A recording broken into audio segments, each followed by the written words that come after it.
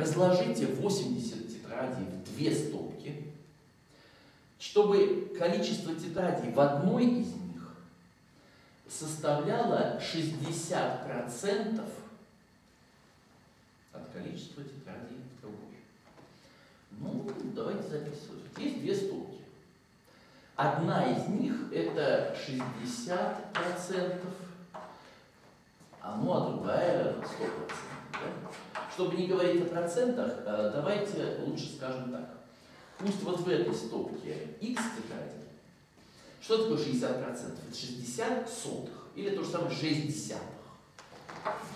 60 сотых. 6 э, десятых. То же самое 3 пятых. Вот, 3 пятых. В этой стопке 3 пятых x.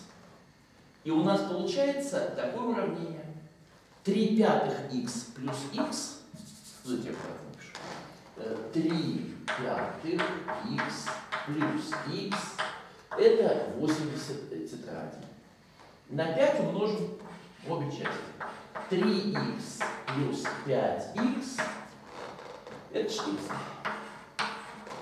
8х, это 400, значит, 50. Получается в большой стопке 50 тетрадей, в маленькой 30. Между прочим, с глубокой древности известен так называемый метод ложного положения для решения такого типа задач. Э, он очень разумный и, если подумать, математически разумный. Да? Э, смотрите, Давайте пока забудем про 1180.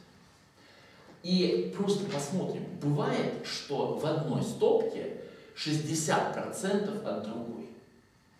Ну, есть разные варианты. Например, можно взять и просто сказать, что пусть в одной стопке 100 тетрадей, а в другой 60. Или, а, если не хотите так э, сказать, пусть в одной стопке будет 6 тетрадей, а в другой 10. 6 от 10 это 60%. 60 от 100 это тоже 60%. В любом из этих вариантов э, делаем простую штуку. Смотрим, сколько всего. Э, всего получается в данном случае 160, ну а в этом случае 16. Но мы-то знаем, что тетради 80.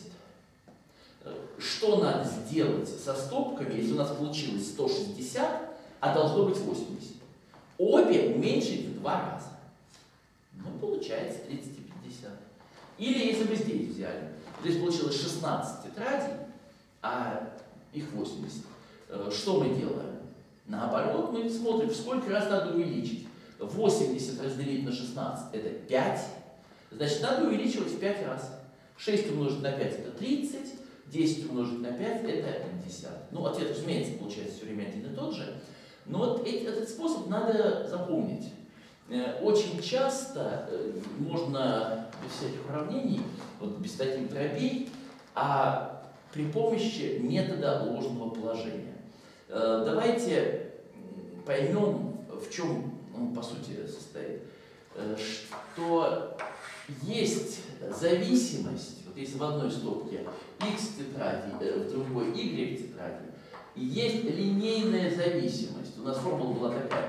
Y это 3 э, пятых x, если y это маленькая стопка, а x большая. И разумеется, если мы возьмем э, какое-то количество в одной стопке, то в другой однозначно вычисляется, и эта функция линейная. А у линейной функции главное, что надо знать, это вот этот ее наклон. Да? Между прочим, и даже более сложные задачи решали методом ложного положения, когда речь идет не о такой вот просто линейной функции, а когда график это произвольная прямая, ну, правда, тогда надо посчитать две точки и по ним уже. Э, это чуть-чуть сложнее, но, тем не менее, вот без всяких уравнений можно было таким простым способом тоже сделать.